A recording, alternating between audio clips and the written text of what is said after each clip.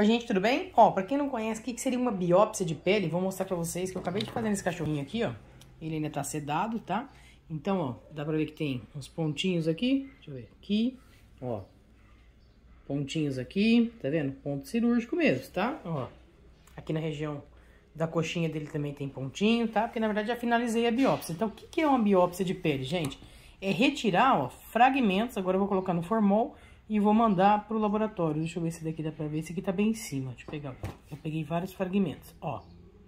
Tá vendo? Um fragmento ali da pele. Se o foco ajudar. Eita, vamos lá. Olha lá. Tá vendo a pele?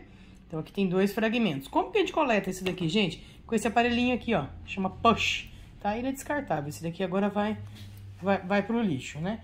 Ó, então esse aparelho, ó, ele corta a pele circular pegando a pele, a epiderme e até um pedacinho ali do tecido subcutâneo, né? Então, a gente pega esses pedacinhos e vai encaminhar para o laboratório, né? Para poder diagnosticar com precisão aí o que que tá causando essa alopecia. Alopecia ou alopécia, tem gente que pronuncia, né? Que é a queda de pelo, ó, sem explicação.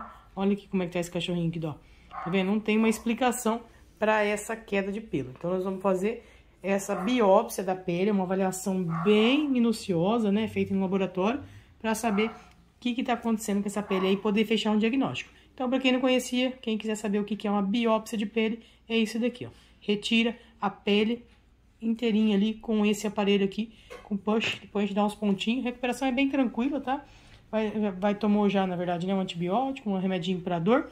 Então, daqui oito dias vem, tira os pontinhos e aguardar agora sair o resultado, tá bom? Quem tiver dúvida aí sobre biópsia, deixe embaixo nos comentários aí que eu respondo assim que possível. Deus abençoe!